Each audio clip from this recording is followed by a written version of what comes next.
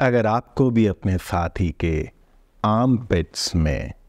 Licking करना या smell करना अच्छा लगता है तो ये वीडियो आपको ज़रूर देखना चाहिए। बहुत सारे लोगों को ऐसा लगता है कि अगर मेरी इच्छा होती है कि मैं अपने फीमेल पार्टनर के या अपने मेल पार्टनर के आर्म पिट्स को मैं लिक करूँ या उनकी स्मेल को अंदर तक अपनी ऐसे अपनी सांस में महसूस करूँ तो शायद मैं मेंटली बीमार हूँ। ये कोई अच्छी बात थोड़ी, किसी के आम पिट्स को कौन लिख करता है या कौन उसमें, उसकी स्मेल लेना चाहता है। सो बहुत सारे लोगों को कई बार ऐसा लग रहा होता है कि शायद मैं बीमार हूँ कि मेरी इच्छाएँ ऐसी होती हैं।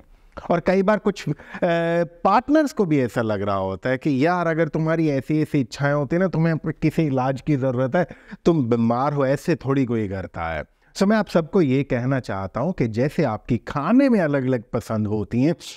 उसी तरीके सेक्स को लेके भी अलग अलग ख्वाहिशें हो सकती होती हैं अलग अलग पसंद हो सकती होती हैं। सो आम पिट्स को अगर किसी को स्मेल करना लिक करना अच्छा लगता है या किसी को करवाना अच्छा लगता है तो ये दोनों तरीके पूरे तरीके नॉर्मल होते हैं। ये जो आम पेट्स होते हैं ना आम पेट्स भी मेल और फीमेल दोनों के केस में इरोजनस जोन्स में गिने जाते हैं। वो जोन जहाँ पे कुछ टच करने से लिकिंग या स्मेलिंग करने से जिसको किया जा रहा है, उसको भी बहुत अच्छा लगता है, क्योंकि सेंसिटिव एरिया सेक्स के लिए कंसिडर होता है। और जो कर रहा है, उसको भी अच्छा लगता है। So this can be something really very beautiful thing for your great sex life मगर इसको करते हुए कुछ चीज़ों का थोड़ा थोड़ा खास ख्याल अगर आप रख लेंगे तो इससे आप दोनों अपनी अपनी तंदुरुस्ती का भी ख्याल कर सकेंगे और सेक्स लाइफ भी और बेहतर कर सकेंगे।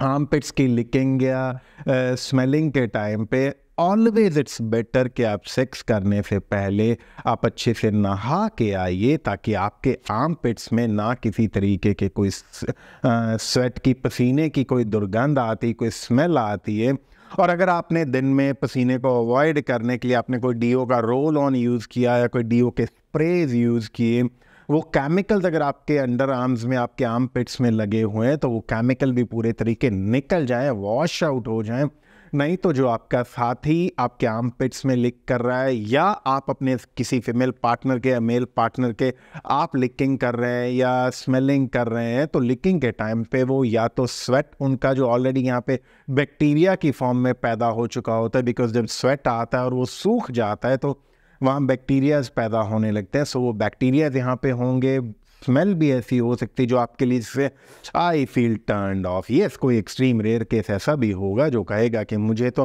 टर्न ऑन की फीलिंग अपने पार्टनर के स्वेट की उस फाउल स्मेल से आती, दुर्गंध से आती, वो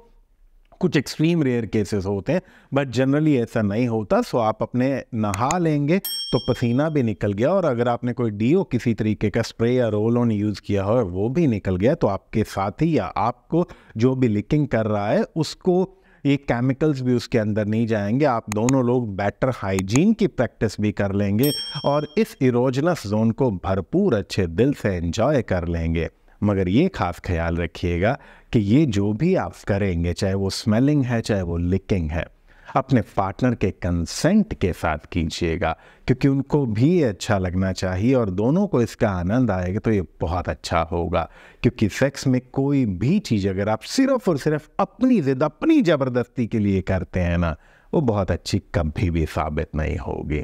So keep enjoying whatever the way you want